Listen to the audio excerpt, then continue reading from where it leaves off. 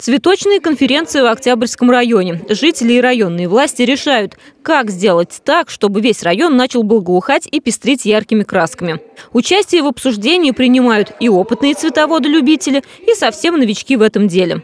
Каждый год практически я закупаю по 385 петуний, и мы высаживаем их, на, естественно, в клумбы, а не в землю.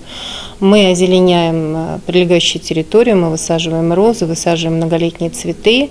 Из года в год все больше и больше жителей хотят принимать в этом участие. Может быть, когда приходят они на эти конференции, когда мы им показываем слайды, как красиво выглядят газоны, как в пример им ставим, мы их награждаем а, памятными призами в виде а, планшеток таких с семенами многолетних, однолетних цветов. Они сидят и обмениваются, они уже хотят на будущий год посадить, чтобы похвастаться вот то, чего им удалось добиться. Помочь цветоводам вызываются районные власти. Они договариваются, чтобы на газоны привезли землю и обеспечили полив. В консультации тоже не отказывают. Поэтому сегодня мы предложим, и где можно купить и заказать эти вазоны, кто готов предоставить по самой выгодной цене цветы, рассаду.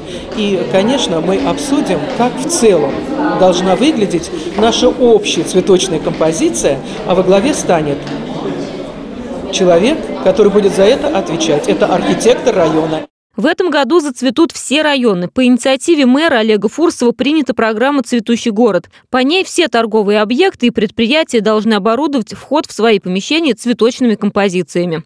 Марина Матвеевна, Максим Гусев. События.